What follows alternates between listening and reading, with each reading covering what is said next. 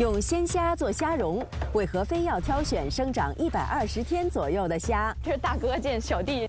咸肉搭配哪种河鲜，能成就出高邮人惦念的童年好滋味？这加的相当多了哈。用什么传统技法腌鱼，可使鱼鲜在常温下储藏半年之久？有一个重要的制作步骤。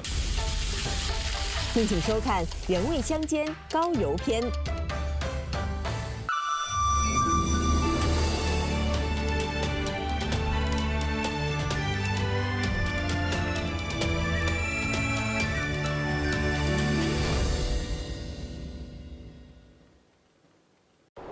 江苏省高邮市位于高邮湖畔，景象万千、物产富饶的高邮湖，养育着一代又一代勤劳朴实的高邮人。靠水吃水，当地人烹制菜肴多以水产为食材，其中既有传统的老味道，又有大胆的创新菜，成就着独特的高邮水乡风味。爸爸，我想吃虾。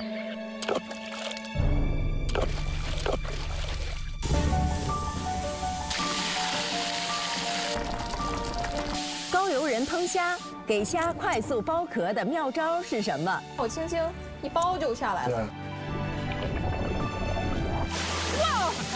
在河渠中摸蚌，为什么一定要穿上能将身体包裹得严严实实的连体防水服？用得着这么大费周章穿这么严实吗？有点奇怪了。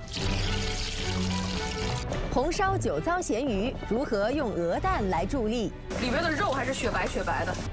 本期节目跟随味道调查员一同去高邮，品味那些独属于水乡的独特风味。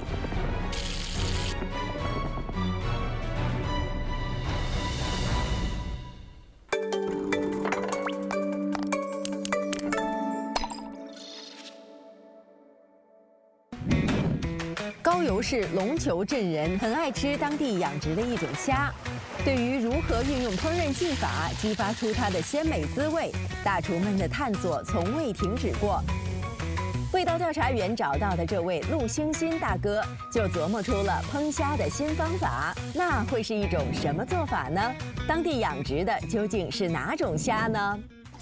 这个是我们呃螺丝招虾。哎，他们跑的速度这么快。很沉啊，不仅是这个，哎呀，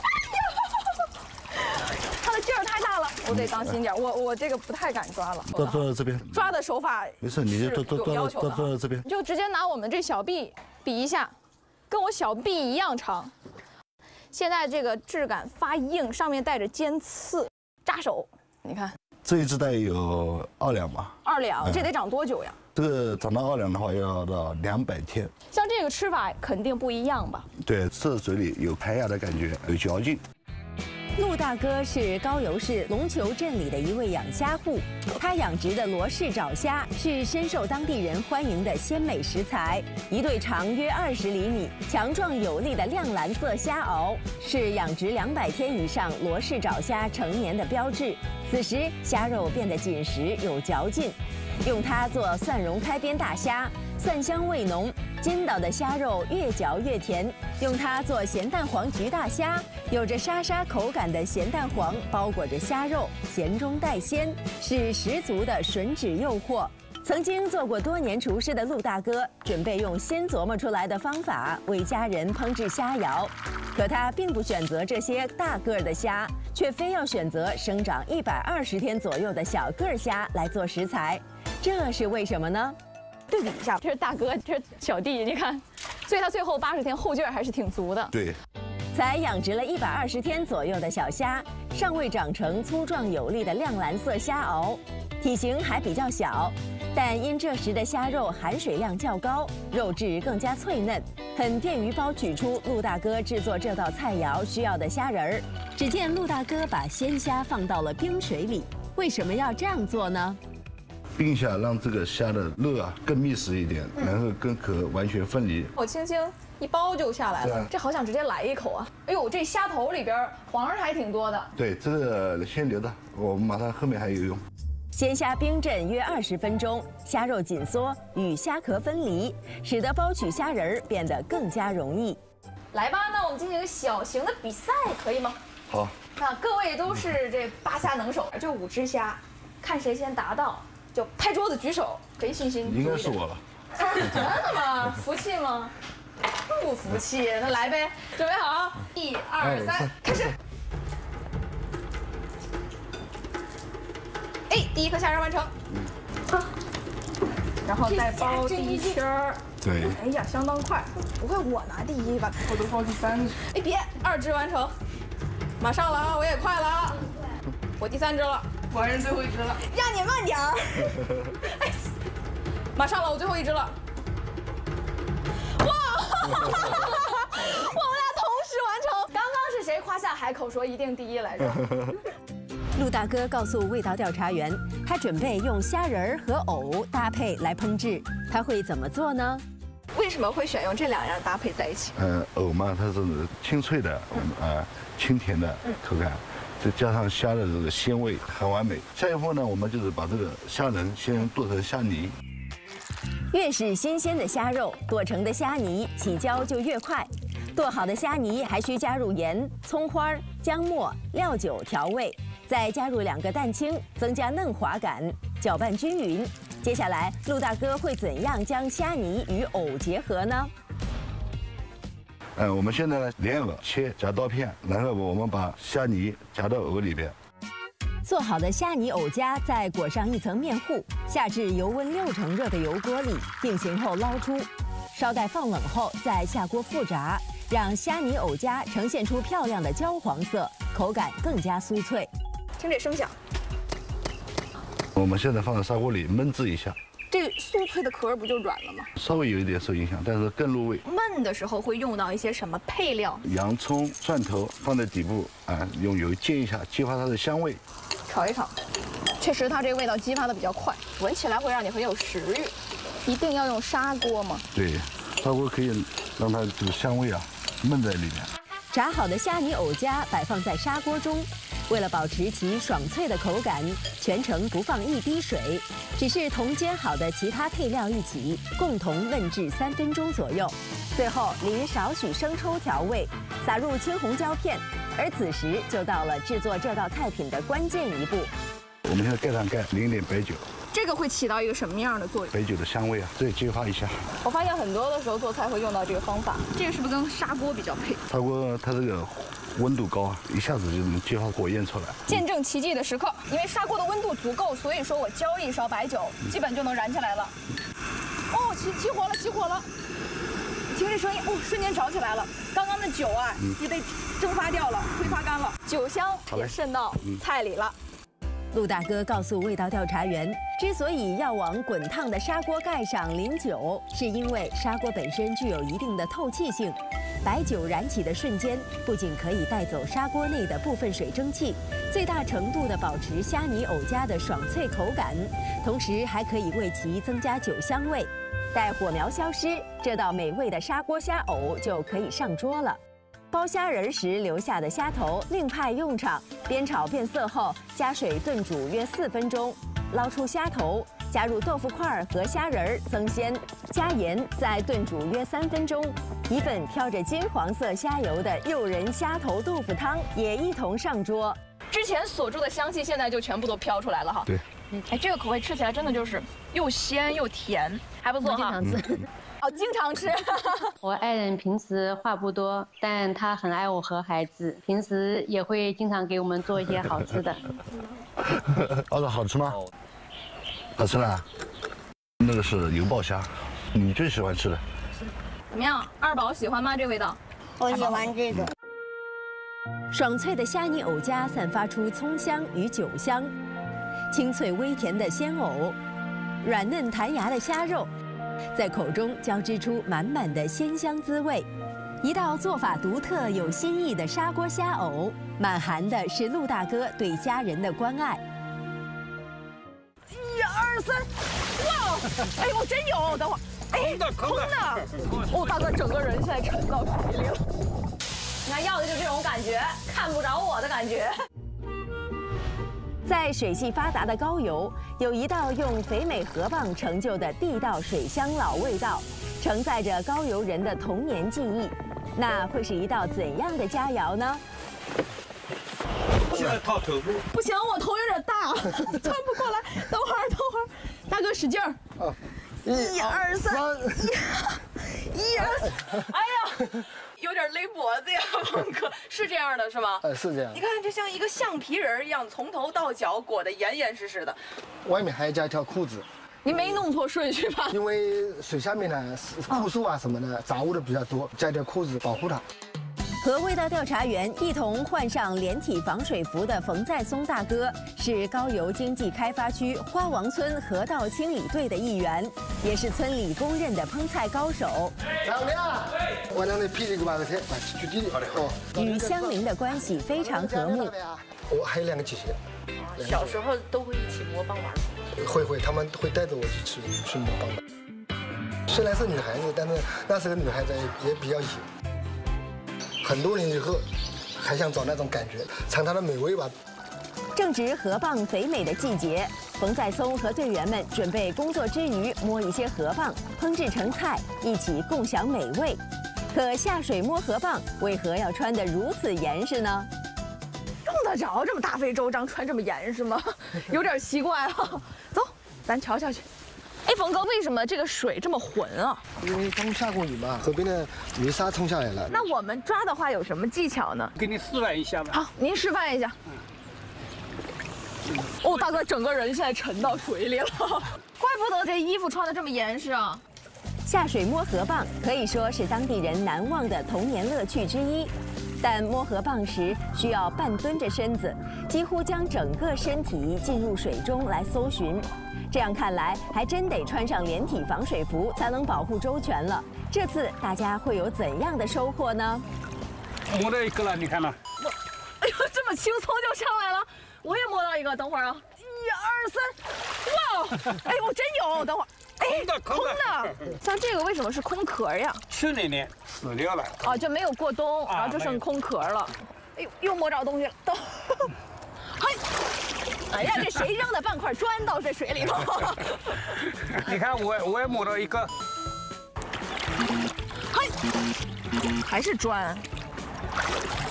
不行啊，我这一块砖接一块砖的，这是让我你看你看盖房子我我也摸到一个，哎，你这肯定是有技巧的，你手要在这个泥上呢贴着啊贴着，你不要抠到泥底下，把一砖块搬上来。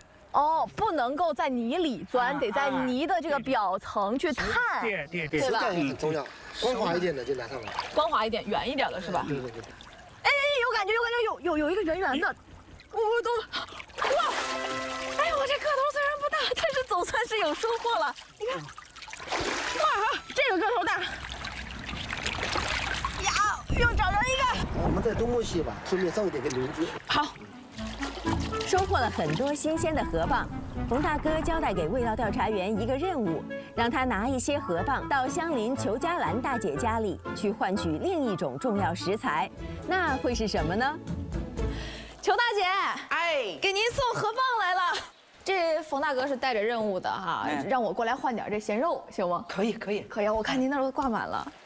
这是在洗这茨菇是吧？当地我们这茨菇都怎么吃呀？我们这里可以炸茨菇薯片吃，也可以跟咸肉烧的吃。我看您这量还挺多，我帮您洗洗呗。你可以带点茨菇走啊，茨菇我也能带吗？啊，可以。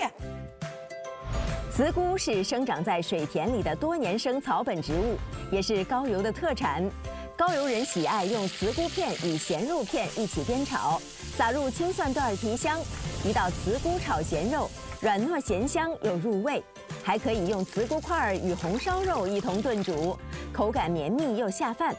清炸后的茨菇薄片拥有薯片般酥脆口感，是当地人的解馋小零食。超额完成任务哈，不仅换了咸肉，还换了点茨菇回来。走吧，回去让冯大哥给咱做好吃的去。用河蚌、咸肉和茨菇做食材，冯大哥可以变换出什么样的美味呢？刚划开之后用手掰，哦，这个肉还是挺满的。河蚌总是在水中有淤泥的地方觅食活动，所以河蚌肉的土腥味较重。那么冯大哥会有什么去腥妙招吗？有些东西必须要去掉，像这部位就是鳃。河蚌的鳃是黄色的。对对对，这个是鳃，这个这个黑色的部分必须要去掉。哎，黑色的是什么呢？它是它肠胃去不干净的话，就会特别的腥。这这时候处理不干净，焯过水以后，我们再进行下一步处理。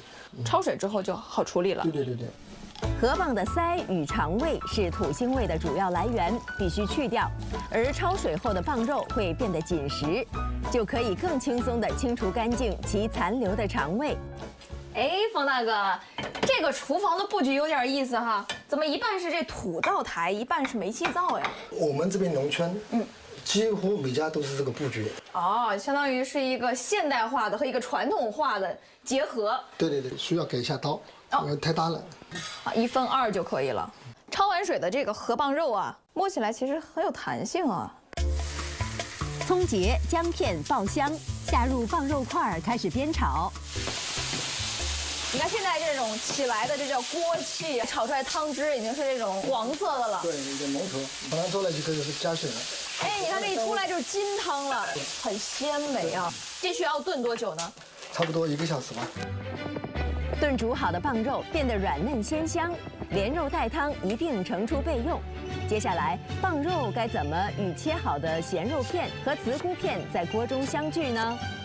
啊，先拿点这是菜籽油引一下。嗯，再放点生姜。那先下咸肉。这咸肉一遇油，它就变成透明的了。这时候就可以把茨菇下下去了。好，下茨菇。嗯我来帮你炒一下。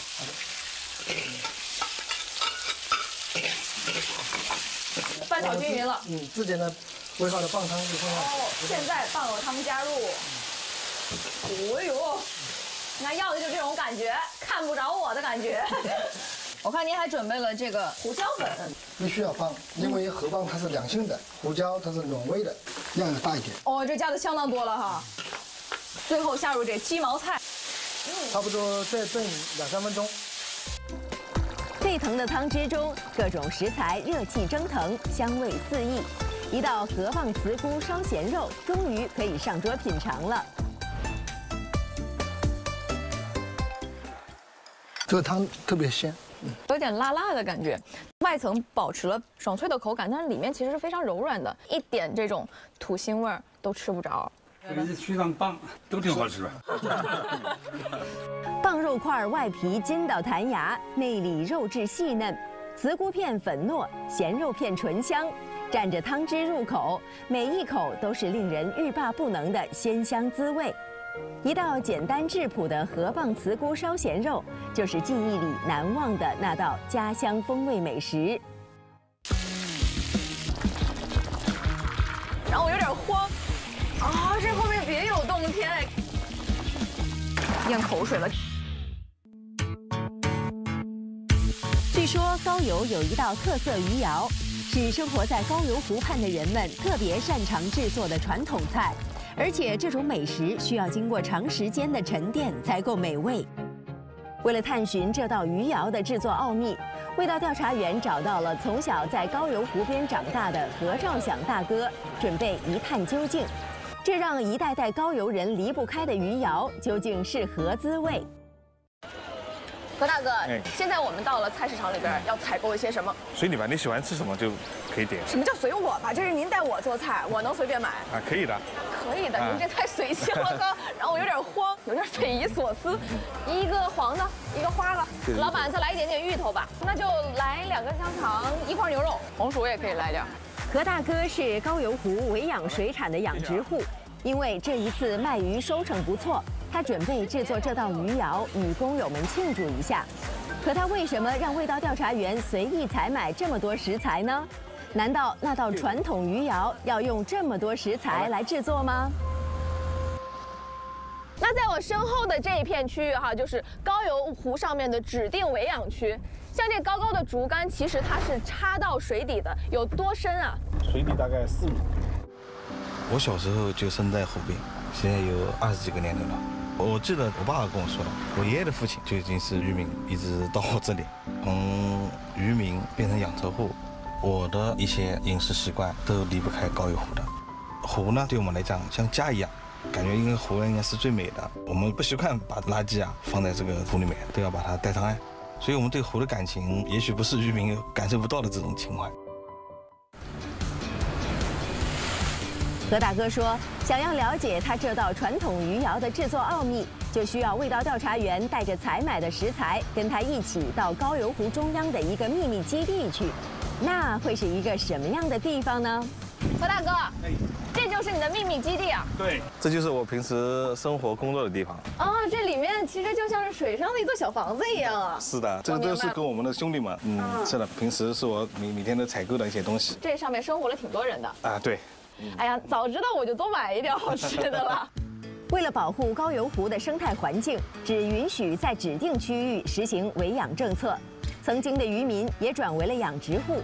在湖面上，何大哥自家的围养区附近，四条大船紧密连接在一起，就成了何大哥和工友们的临时生活基地。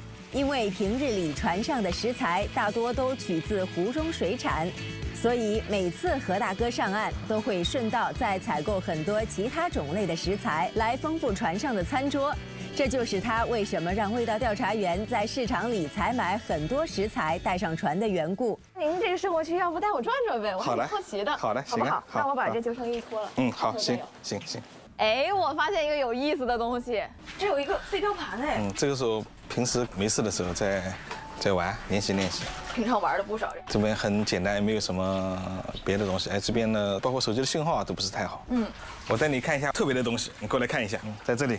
哦，这两条船中间有几个网兜在水里吊着。对，这里边有什么东西？哎呀，这里面有，哦，这里边都是大条的鱼啊。对。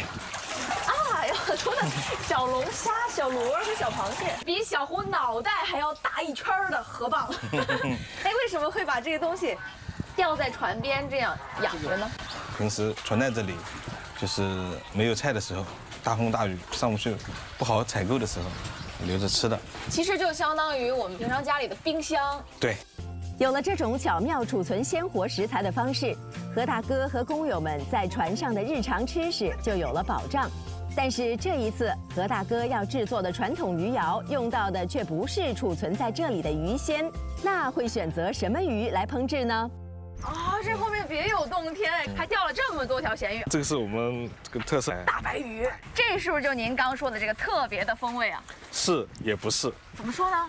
我带你去看一下，有一个重要的制作步骤。白鱼肉嫩，去除内脏，涂抹上花椒盐，晒制成咸鱼干，这就是船上生活基地工友们自制的特色风味。也是何大哥烹制鱼肴的主食材。可何大哥说，这咸鱼干在烹制前还需要进一步加工才行。这就是我们的酒糟咸鱼。酒糟咸鱼，你没准备酒糟呀？当地称为我们嗯酒糟咸鱼，就是把咸鱼切块，把这个肉呢就是放在酒里面蘸一下，然后放在这个容器里面。高度白酒。对。哎，为什么不直接泡在这个酒里？泡在这里面呢，这个酒呢会落到这个鱼的肉里面呢，时间太长不好吃。哦。稍微蘸一下之后呢，相当于起到消毒啊，没有细菌了。嗯。然后放在这里面，会时间更长。改刀给改成多大块？改刀这个两到三公分。哎呦，我这我那把酒端着，酒洒没了。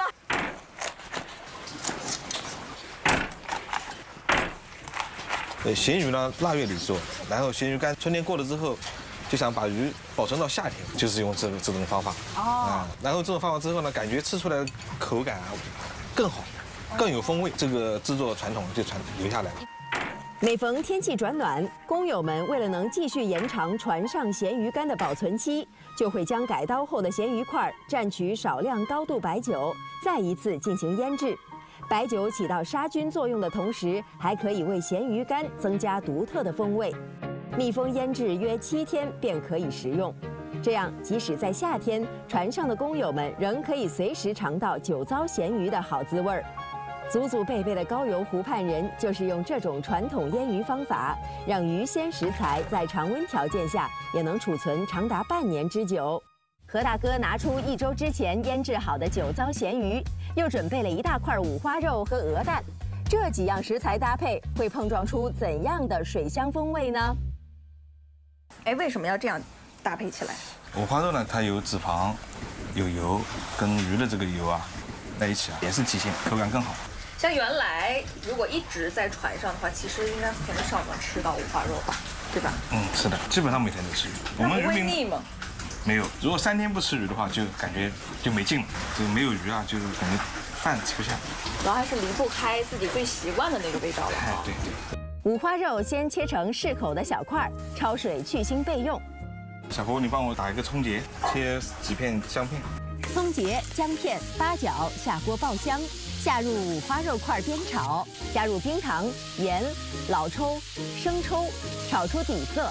添水没过五花肉块，盖上锅盖焖制约二十五分钟。在等待的时间里，何大哥另起锅开始烹制酒糟咸鱼。这个是腌了有七天时间的酒糟咸鱼哈，哎，对，你看其实质感啊和颜色都发生了一些变化。之前的咸鱼的那个鱼干是偏硬一点点的，加了酒又腌制了七天，变得更加的柔软，它其实是有一点点微黄，闻起来，哎，真的是能闻到那一股酒香味儿哈。用油过一下。酒糟咸鱼块入油锅，炸至金黄色，在锁住内里香味和水分的同时，还能增加油炸的焦香。一股咸香味儿飘出来了，它还是有腌鱼的那种咸味儿哈。对，是到位。对，但同时它增加了一层独特的风味，就是酒香，咽口水了。哦，里边的肉还是雪白雪白的。酒糟咸鱼块炸至七成熟后捞出，入锅与焖好的五花肉块相聚，无需再加盐，需要继续炖煮约十分钟。那这大个头的鹅蛋又该如何入菜呢？这一步呢，就是做蛋皮，放一堆溜盐，然后呢加适量的水淀粉，水淀粉加进去起到一个什么作用？可以提高蛋皮的韧性，哦切丝的时候会很方便。啊，这个油我们不要重新倒一点吗？嗯，不需要了。刚刚我们煎鱼的时候呢，稍微留一点点的薄油。煎制好的蛋皮改刀成丝备用。此时将锅中炖好的酒糟咸鱼块与五花肉块装盘盛出，点缀上蛋丝、香菜、红椒丝，既丰富了色彩，又能解腻。这道高邮传统的红烧酒糟咸鱼就大功告成了。这个色彩一下就艳丽起来了。何大哥接着又烹制了金丝鱼片、金汤鱼头等其他几道拿手的水乡家常菜，一起端上桌与工友们分享。这几天大家辛苦了，收获还不错，感谢大家，这是大家的共同的努力得来的啊！来来来来来来，吃吃吃。嗯，满口的酒香味是比较浓郁的，咸味儿啊被五花肉吸走了很多了，刚刚好的咸淡，同时呢它又吸收了一些油脂，口感更加的丰盈。这个肉啊炖的是相当的软烂，在嘴巴里面就是鱼鲜味儿的果冻，这两个搁在一起肯定好吃，肯定好吃。跟着何大哥体验了一日养殖户的生活，更加深刻的体会到就各位的坚守的不易，陪着这条船，陪着这片水域，坚守实在是很辛苦的一件事情哈。干一碗鱼汤，辛苦了，辛苦了，辛苦了，辛苦了。酒糟咸鱼的鱼香融合着五花肉的汁香，伴随着淡淡的酒香萦绕在舌尖，一桌充满水乡老味道的可口佳肴，是对何大哥和工友们日夜辛劳付出的最好慰藉。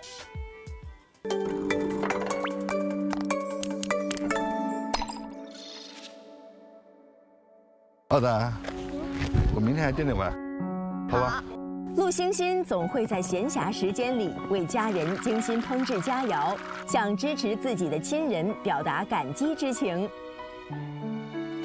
冯再松用心工作，在保护好家乡水环境的同时，也守护着童年记忆里的幸福味道。何少想和他的工友们一如既往地忙碌于养殖工作，内心始终感恩着这片世代养育他们的高邮湖。日月穿梭，对于家乡美食的珍贵记忆，永远不会被时光冲淡。在高邮人看来，这些淳朴的水乡家常菜才最是人间至味。